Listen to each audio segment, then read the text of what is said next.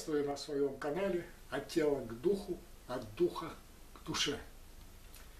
Вот уже, по-моему, четвертые сутки мы находимся в плену у зимы из-за сумасшедшего, навала снега. Ну, уже более-менее расчистили дороги, э, пешеходы и водители уже вышли из коматоза и более-менее адекватно ведут себя на улицах.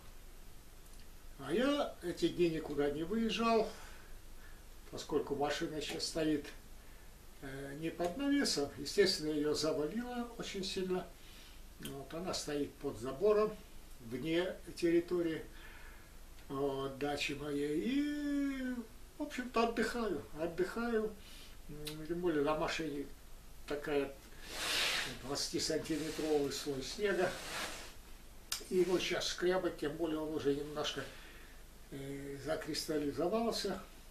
Его так просто не уберешь. И даже близко не тянет, чтобы выйти, вот это тратить энергию, потому что обещают, через э, пару дней будет наступит э, потепление, а через несколько дней чуть ли не плюс 7 градусов будет.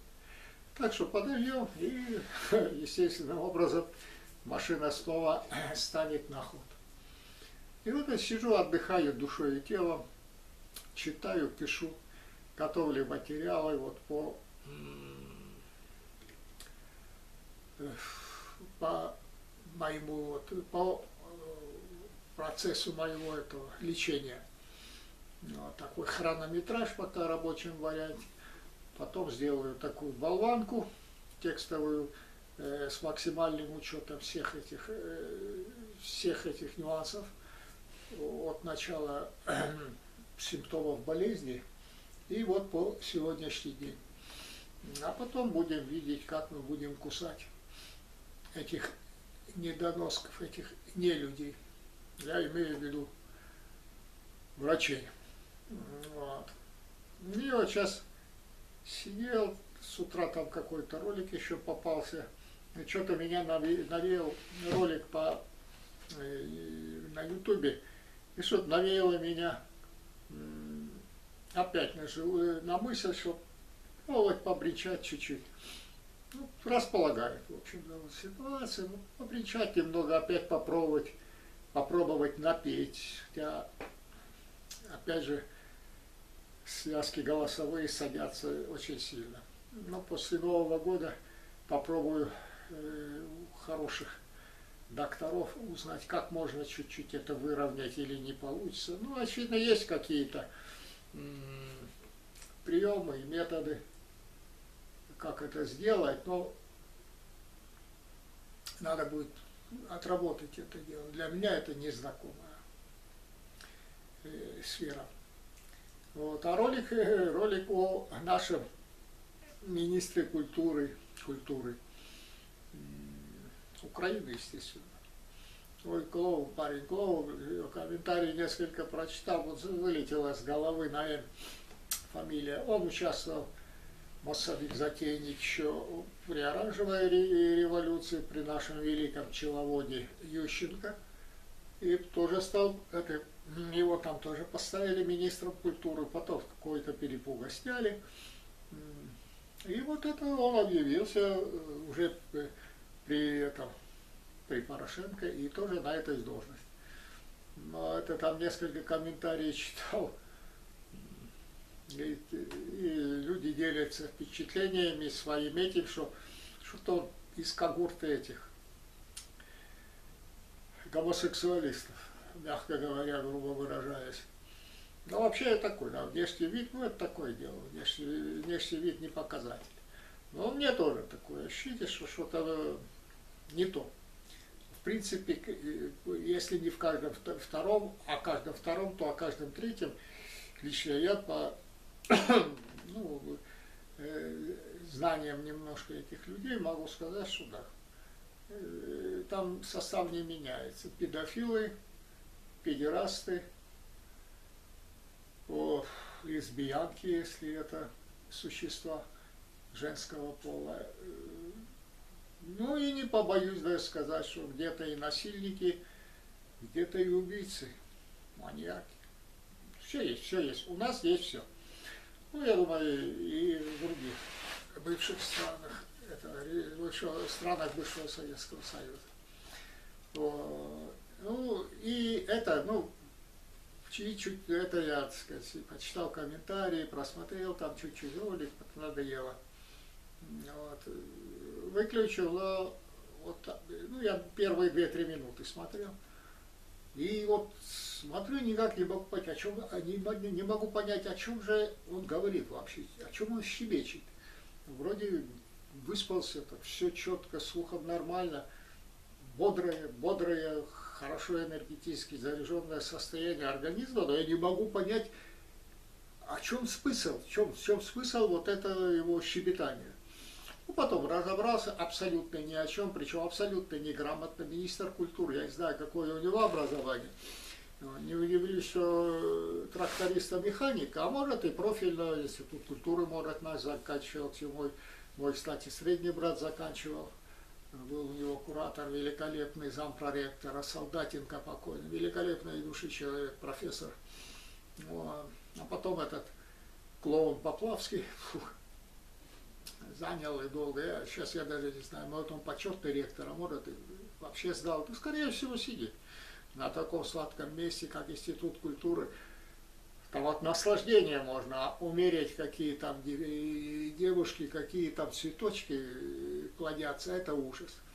И он с этого имеет шикарный расклад, кроме денег за поступление, кроме денег обучения, за период обучения, любые гешефты, любым этим козлам, пидорастам, депутатам, министрам и прочее на подгон девочек любого вкуса – сауны, номера, и, нахер.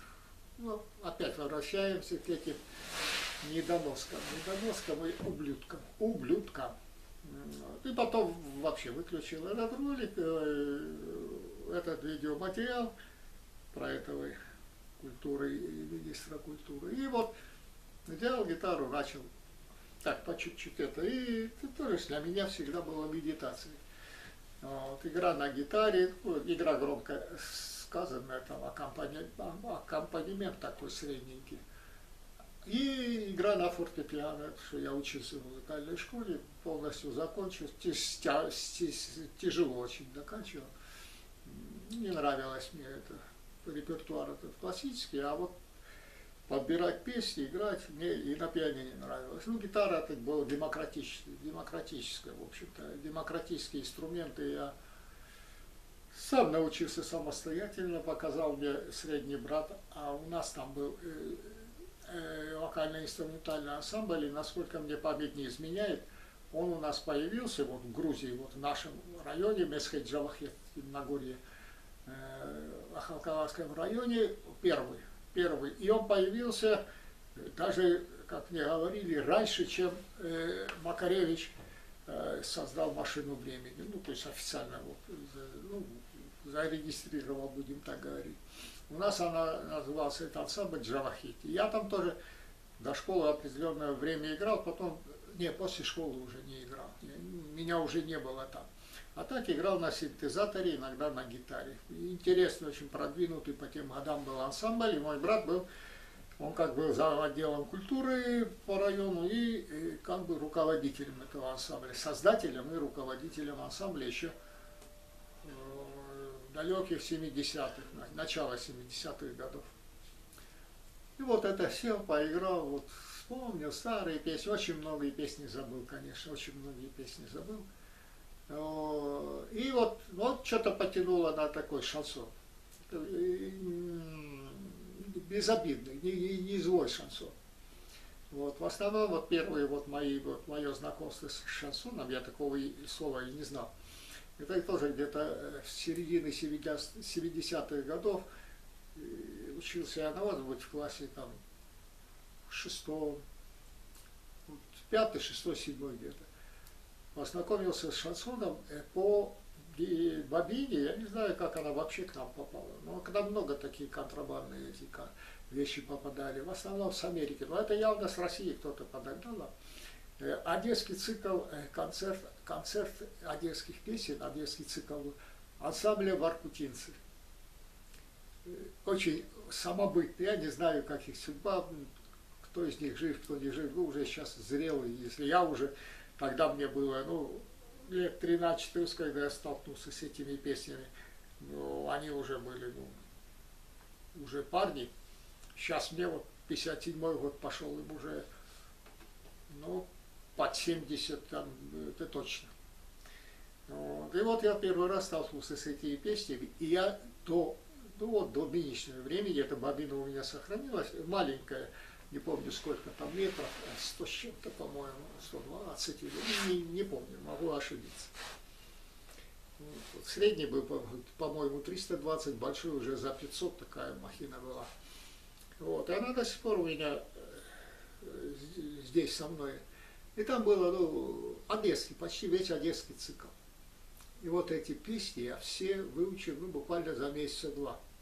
Естественно, с подбором, сопровождение под гитару, разрабатывал аккорды, гармонию ставил, и так потихоньку, потихоньку, потихоньку. Я говорю, а, я не досказал, что вот а, первые четыре аккорда в ля миноре, классический вариант, вот меня средний брат и научил. Все, а дальше я это все смотрел, учился сам, особенно баре, когда перекрывается весь гриф и так далее и тому подобное. И вот эти песни, они меня вот, я не знаю почему вот так, но такие вот на армянском языке, они называются теперь хужанские. Хужан это хулиган, вот хулиганские песни мы называли. Ну, кто-то уже называл их э, блатные песни. Потом мы узнали, что это городской романс, как бы вот шансон. Шансон, это французское слово, оно обозначает э, городской романс. Это очень большой культуры вот это направление песен, да. Ну вот тоже Шар, Шар, Шарль Азнавур, классика, вот э, именно французский шансон. Потом Жан, Тат, э, Жан Татлян, это мой, я, по-моему, рассказывал, мой, как бы, получается, два, двоюродный дядя мой. Вот он двоюродный, двоюродный брат моей мамы. Вот. И вот очень интересно, тоже Жо Дассен, это не как эстрада вариант, допустим, французская эстрада, эстрада, это шансон. Поэтому их называли шансонье, исполнитель городских песен. Вот. Я вот к, этим, к этому направлению прилип, и по сей день, так, еще раз говорю, очень многое забылось, очень многое забылось. Но тем не менее, так вот, если целенаправленно месяц сидеть, можно очень многие песни, вот в памяти, даже э, не ища вот где-то у меня что-то в рукописном варианте, естественно, я их переписывал, потом заучивал. Заучивал я очень быстро, под гитару очень быстро ложилось на память. Вот. И я как-то упоминал, что за эти песни очень, ну не очень, это нескромно будет сказано, но нагоняй и получал. Потому что я без э, зазрения совести, без всякого стыда, я мог вот в 13-14 лет посреди города Ахалкалаки, вот э, я думаю, кто жив, очень хорошо помнит. Мои сверстники точно, ну постарше уже, наверное, многих нет живых. Я мог вот это взять гитару и зарядить э, такие частушки, с таким матом смачным. Может, я когда-нибудь э, эти куплеты вам, частушки, представлю вашему вниманию. И, естественно, не на э, каждое ухо, но, тем не менее, это тоже народный фольклор.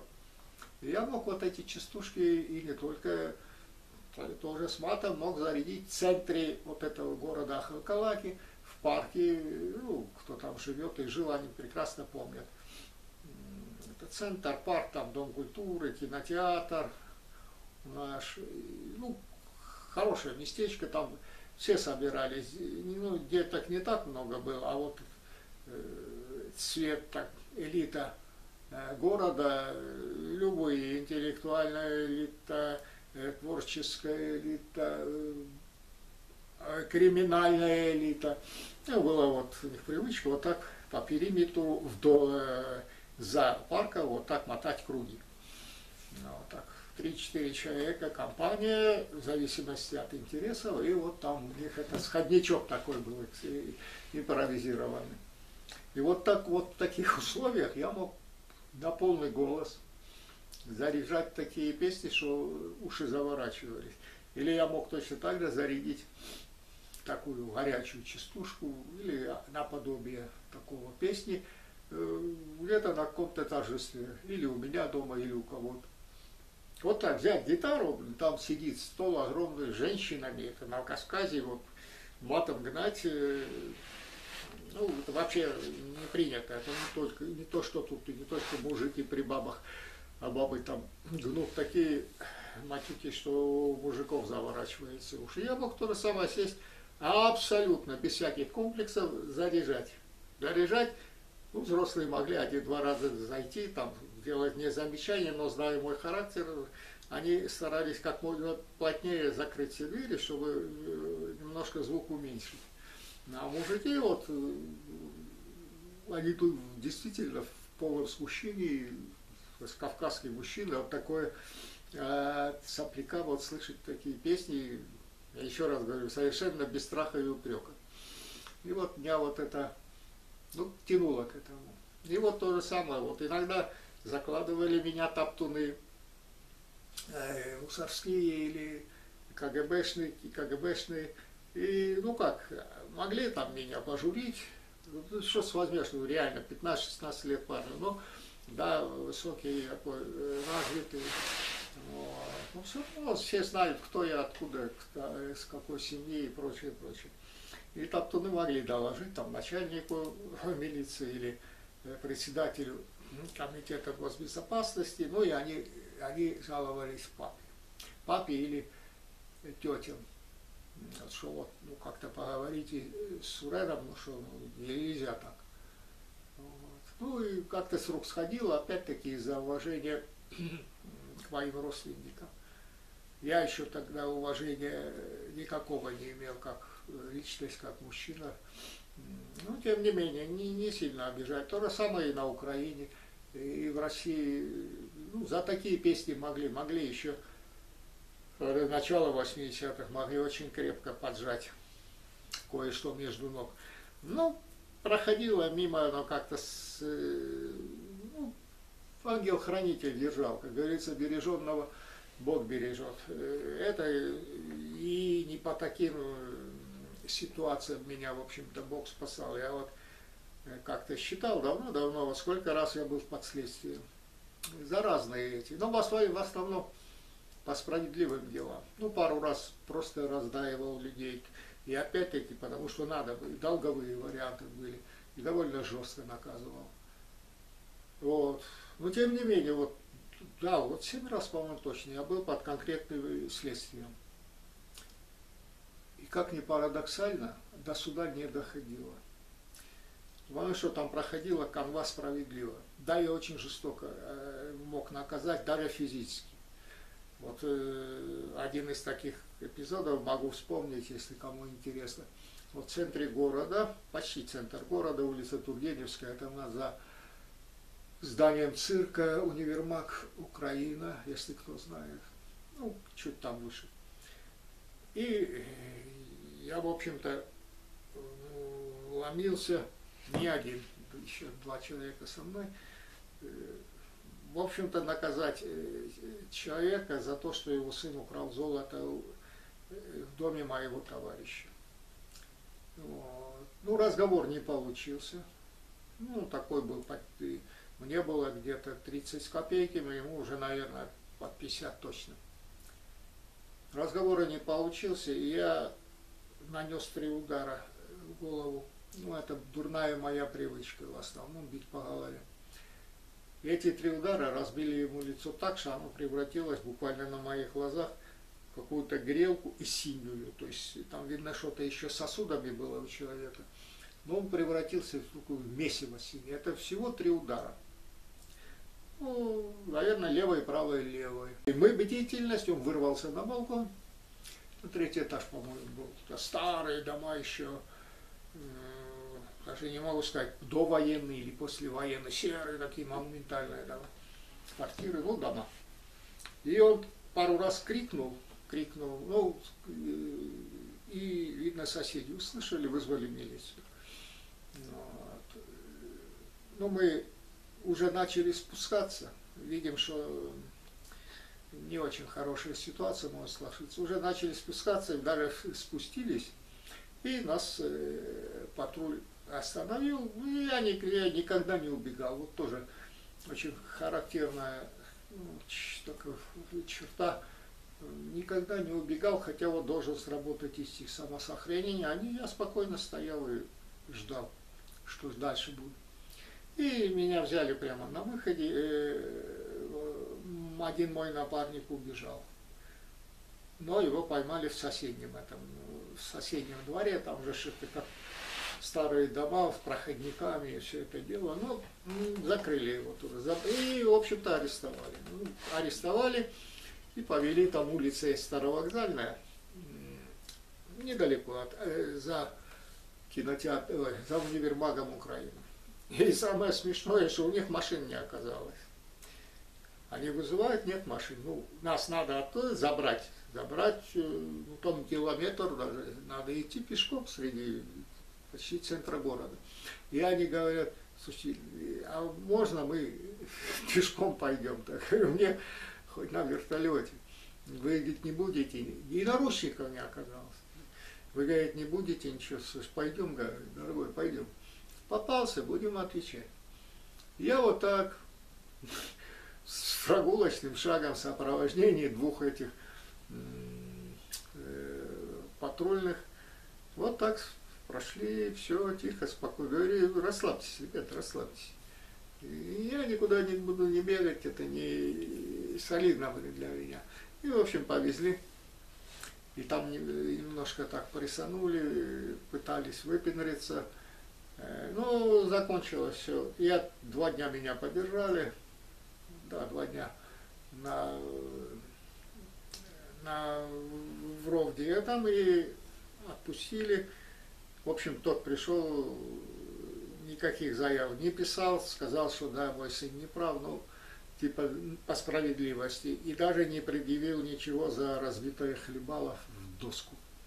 Ну, я это один из таких ничтожных примеров, что вот как-то меня вот в этом плане ангел-хранитель спасал, и я это чувствовал вот, всеми клетками своего тела. Я чувствовал, что что-то меня вот кроет. За какие заслуги и не заслуги сказать сложно. Вот только вот от врачей меня вот не уберег ангел-хранитель. Ну вот в том виде, в каком вот я себе представляю. А может, это тоже была благостная подача. Ну, в общем, ну, чуть-чуть выговорился. Классно. Я всегда говорю, это для меня тоже медитация. Вот. Сижу, разговариваю, медитация, стою там какую-то практику, но я сейчас реже стал это упражнения показывать. Тоже медитация. Я вот э, по ходу сам и тренируюсь. То есть называется полезность приятно, не терять время. Ну, то же самое, сижу и отдыхаю с вами. И вот это э, и да, и вот почему меня почему вот начало тянуть вот с детства, почти с детства на шансон. И люди вот с детства опять-таки вот, как-то удивлялись. Я не мог объяснить. Вот, говорит, вот странная э, ты личность с малых лет. Говорит, то ты можешь быть добрый, добрый ко всем, особенно маленьким детям, убогим, э, людям, к которым несправедливо относятся – может быть как, э, такой, такой, такой добрый, как блаженный. А может быть одновременно быть, ну, как э, бешеный слон. Что ты, говорит, за натура такая? Ну, говорю, откуда я знаю? Не я себя создал таким. Ну, раз так и, значит, так надо. И, наверное, потому что вот у меня нет тормозов в том плане, что я вот такой, какой я есть. Если мне хорошо, мне отношусь хорошо к, Э, к существу, которое рядом со мной, то я могу отдать свое, последнее свое. Но если меня каким-то макаром, абсолютно, может быть, даже не не, не поддающимся какому-то пониманию, я могу, пониманию я могу отнестись ну, действительно как зверь, иной раз страшно, страшно бывало. Но не могу я объяснить. Ну и говорю, я, наверное, потому что я вот, э, вот у меня все, вот, э, поведение в той или иной ситуации, той или иной ситуации, вот идет абсолютно естественно. Пошел всплеск ярости, он у меня идет. И часто неконтролируемый, несмотря на то, что я как-то вот меня учили, что ты должен это. Вот, э, но больше меня, конечно, учили, как вызывать эту ярость и ни о чем не думать. Но это когда ты на государств, под государственной защитой, но ты когда действуешь сам по себе, то ты чаще всего становишься вне закона. Но а это уже не, я не могу увидеть. Даже вот уже в таком возрасте еще вот этого темперамента и э, уровня вот этого э, гормонов пока срабатывает. Не думаю я, что я уже не 20-летний, не 30-летний э, мужчина, а уже пожилой, в общем-то. И у меня многие функциональные, конечно, возможности и способности уже далеко не на удовлетворительном уровне. Но, тем не менее, характер изменить сложно. Поломать можно, но ты поломайся и потеряешься. Это, это такой на, на, надрыв просто будет, надлом. Но я не могу это сделать, даже искусственно, относительно себе. Вот. И вот такие у нас, такая у нас картина вырисовывалась. Вот говорю, наверное, вот потому и вот я вот действую, вот как действую. Хорошо ли я действую, плохо ли я действую. Как это смотрится со стороны, мне абсолютно фиолетово. И опять-таки есть внутренняя сила, которую, вот эта сила я ощущаю во многих ситуациях, что я прав. Ощущаю, ощущаю интуитивно. Вот мне кажется, что вот это я делаю правильно. Или вот то событие, оно вот правильно развивается. Не, не, не обязательно касаемо меня. Вот, или вот ту ситуацию, вот надо вот так разрулить, и вот объяснить сложно. А вот тут вот так срабатывают. Кто-то внутри говорит, вот так надо. Хотя я могу не знать ни нюансов, ничего. Вот оно просто внутри голос говорит, вот так надо. Это потом я уже с годами, конечно, понял, что ну, вот это и есть интуитивная мудрость, интуитивная мудрость, которая объяснить невозможно, которая не дает никакое образование, никакое образование, никакие прожитые годы, ни статус социальный, ни, ни ничего, ни богатство, ничего. Это все фуфло, это пепел. А вот такой вот человек обделенный или натренирован, ну, это вообще-то от природы, обладающий вот такими способностями – вот у них есть знание. У них вот это природное знание, природная мудрость, э, чуткость природная. Но тяжело объяснить. Вот так грамотно объяснить. Кто-то может способен там, разводить воду. Но вот конкретно, чтобы объяснить, оно объясняется. Оно объясняется даже научными языками, потому что это в какой-то мере и физика, в какой-то мере и химия и разные такие сопутствующие прикладные дисциплины. Вот такое дело. Поэтому вот живу и не перестаю иногда и сам себе э, удивляться. Но это не вариант нарциссизма, э, этого галима и педорастического, а просто э, желание и вот какое-то это способность к анализу, к самоанализу вот в данном случае. Потому что почему бы не задумываться, почему не анализировать, если мы сами себя не будем узнавать и знать, как мы будем э, узнавать все остальное человеческое э, общество.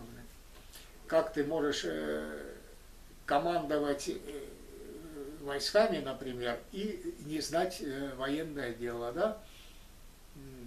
Как ты можешь чему-то учить, когда ты сам никто и зовут тебя никак. никак. А сейчас в нашем вот обществе, э, на планете, не, не, не то, что там Украина, Россия, Грузия, там Армения, и Азербайджан, и Белоруссия, и прочее, прочее, прочее. Это везде так. Нами руководят, нас учат люди, которые в первую очередь не имеют никакого морального права нами руководить. И недостойные в плане профессионализма. Как может человек учить тому, кого, того, что он не знает или знает только на вот академическом уровне? Или человек испорченный, недостойный по всем статьям. У нас это вот, еще раз повторюсь, сплошь и рядом. Куда ни косни, что ни копни, человек разумный, человек понимающий, думающий и анализирующий, как себя, так и окружающую среду, это все увидит даже без лупы и даже без очков. Это на поверхности. Вот так, друзья мои. А сейчас такую маленькую песенку спою, тоже из репертуара воркутинцев. Э, названия нету, это такой вот безобидный шансон. Ну, безобидная блатная песня. Вот это попробую напеть. Горло чуть-чуть прогрел. Посмотрим, не осипнули посреди там куплета. Но не кашляю. Ты-ты-ты, вот сейчас бы не сглазить. Вот. И перед исполнением песни этой от души, чисто опять-таки в качестве своей личной, в первую очередь, медитации. Я с вами прощаюсь. До скорых встреч. Здоровья, благополучия и мира, истинного мира над нашей планетой. Пока.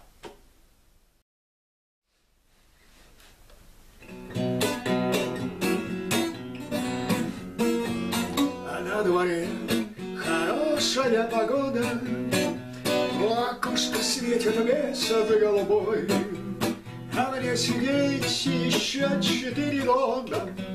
Душа болит и просится домой, А мне сидеть еще четыре года. Душа болит и просится домой, А там еще зайдите к дяде Коле, Он на свободе должен шесть рублей, На два рубля купите мне махорки, А на четыре черных сухарей, а два рубля купите мне махорки, А на четыре черных сухарей. Кончаю так, целую тебя в лобби, Сижу на нарах и жрать хочу, как волк. Привет от разных лагерей, от всех товарищей, друзей. Целую крепко, крепко твой Андрей. Привет от разных лагерей, от всех товарищей, друзей. Целую крепко, крепко твой Андрей.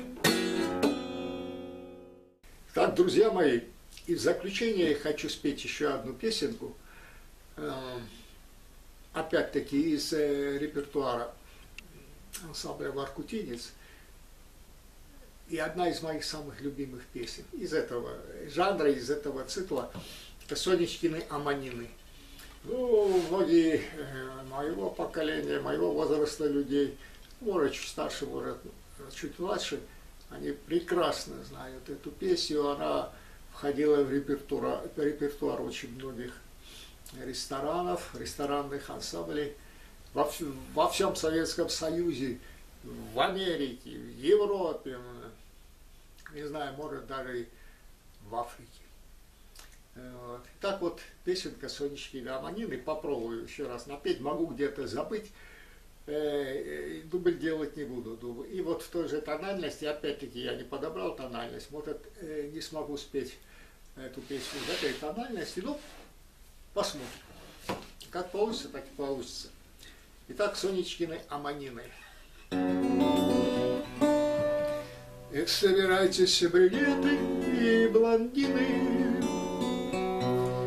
А Яшка рыжий вам будет не держать.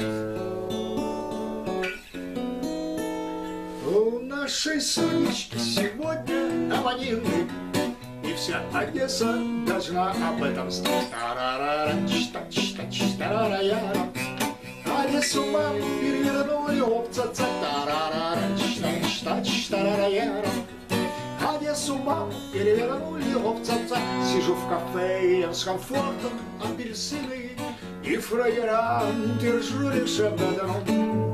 У нашей сонечки сегодня аманины, Так накачаем ее водкой и вином. Тарарара, штач-тач, Одессу маму перевернули овца-ца, тарарара, штач-тач, тарараяра. Одессу маму перевернули овца-ца, А мы завалим подвальчик очень видный. А ну-ка, дядя, налей-ка нам вина. У нашей Сонечки сегодня аманины, И вся леса об этом знать должна. Тарарара, чтач,